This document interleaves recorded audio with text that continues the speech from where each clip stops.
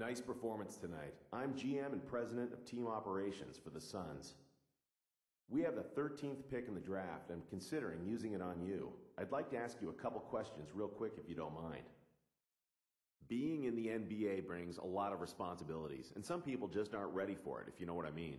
What are your plans once you get that first paycheck? To be honest, that's something I haven't given much thought. Right now, I'm completely focused on my game and getting drafted in the lottery. Hopefully, top five, man. That'd be nice.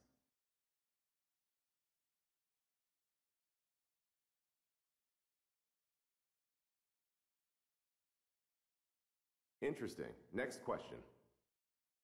How did you feel about your game tonight? What stood out to you? I felt pretty good. You know, I could have shot the ball a little better. I could have done some things a little better, but all in all, I think I did okay. Some interesting answers. Thanks again for your time.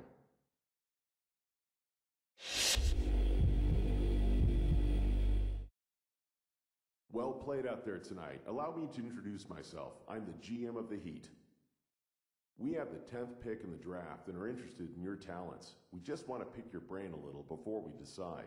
Let's get to it. If you were a GM, where would you draft yourself in this draft?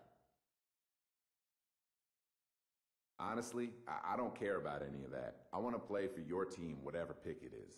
To me, it's not about going number one or going in the lottery. I want to go to a team that is a great fit for me, and I definitely think you guys fit that bill for me.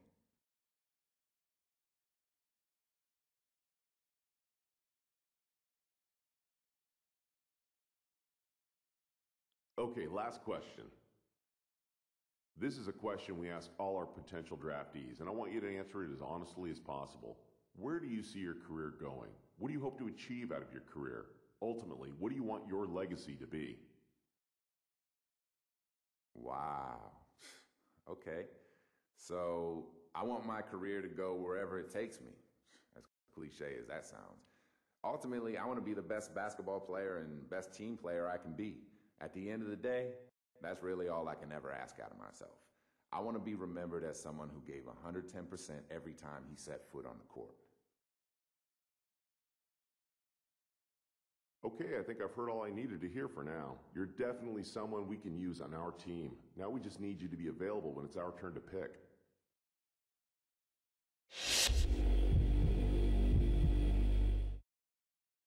Hello, I'm the head scout for the Boston Celtics. We have the 16th pick in this draft, and we're looking at potentially using this pick on you. First, though, we would like to get to know you better by asking you a couple questions. Let's get to it. We had a lot of turnover here in Boston, but are still looking to be a team that can win the title. There is a tremendous amount of pressure to win here for any player, much less a rookie. Do you feel you're prepared to step in and fill the shoes of some of the great players that have left our team in the past months? Oh, I'm definitely that kind of player.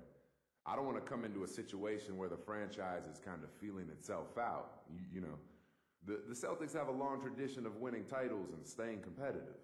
It comes with pressure, but I thrive in that sort of environment, and I definitely welcome the challenge that playing for the Celtics presents, man.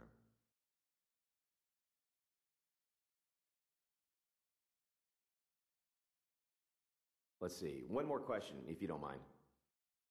Playing in Boston comes with a certain level of expectations, as well as responsibility. When you look up at the rafters and you see Russell, Parrish, McHale, and Bird, you know you have some big shoes to fill.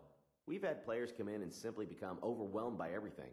I need to know if you can handle the pressure before we go investing millions into you. I can definitely handle the pressure. It's what I've been doing my entire life. Look, living up to the quality of those legends is darn near impossible. But it'd be an absolute honor to follow those legends, and I do my best to represent the green and white. Great answers. I really think you'd fit in great with us. Here's hoping we're able to draft you with our pick.